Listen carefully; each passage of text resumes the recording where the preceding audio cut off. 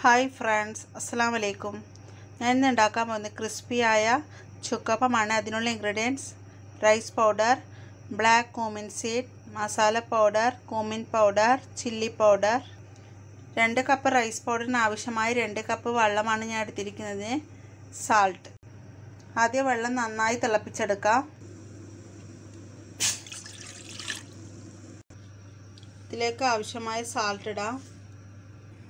വെള്ളം തിളക്കുമ്പോൾ ഇതിൽ ചില്ലി പൗഡറും മറ്റുള്ള പൊടികളെല്ലാം ആഡ് ചെയ്യാം.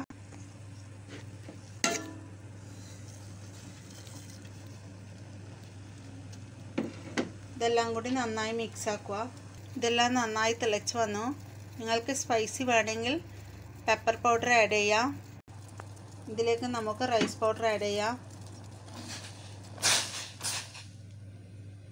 നന്നായി മിക്സ് ആക്കുക അങ്ങനെ ഇതെല്ലാം കൂടി മറ്റൊരു പാത്രത്തിലേക്ക് മാറ്റാം. ഇതെല്ലാം കൂടി നന്നായി കുഴച്ചെടുക്കുക. ഇതെല്ലാം കൂടി നന്നായി കുഴച്ചെടുക്കണം. നല്ല ചൂടോടെ തന്നെ കുഴച്ചെടുക്കണം. അങ്ങനെ ഇതെല്ലാം കുഴച്ചെടുത്തു. സ്മോൾ ഉരുളകളാക്കിയിട്ട് എടുക്കാം. ഇതുപോലത്തെ പലകയിൽ വെച്ചൊന്ന് പ്രസ് ചെയ്തെടുക്കാം. ഇതുപോലത്തെ ഷേപ്പിലെടുത്ത് സ്മോൾ പീസായിട്ട് കട്ട് ചെയ്തെടുക്കാം. ഇതുപോലത്തെ സ്മോൾ സർക്കിളായിട്ട് എടുത്തിട്ട് ജസ്റ്റ് ഒന്ന് പ്രസ് ചെയ്തെടുക്കണം.